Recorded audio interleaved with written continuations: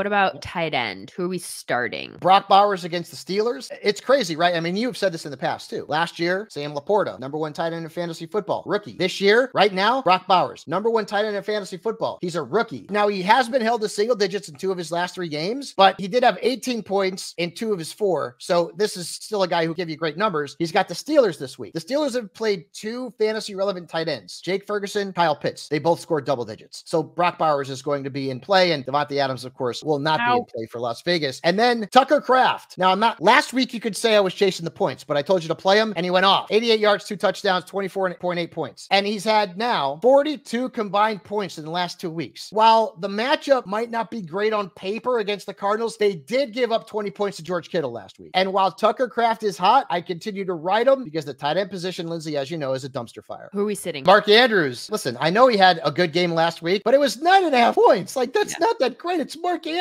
you know, and like Isaiah Likely was better. You know, Charlie Kolar got into the end zone last week, and the commanders have allowed double digits to just one tight end this year. So their defense has been pretty tough on tight ends. So Mark Andrews is going to be a fade. And now this one here, you may think I'm nuts, and I know you got to play him. Listen, I have him. I got to play him. Dalton Kincaid has not been great this year. Through five weeks, he's been held to single digits four times. He's averaging seven and a half points per game. Like that's not good. And even last week, where the Bills didn't have Khalil Shakir, he had 5.4 points. There's nothing that tells me Dalton Kincaid's going to have 12 points this week or 15 points this week. His ceiling might be eight. And while that's pretty good at tight end, it's not what we were hoping for when we drafted Dalton Kincaid. So I know you probably got to play him, folks, but temper expectations.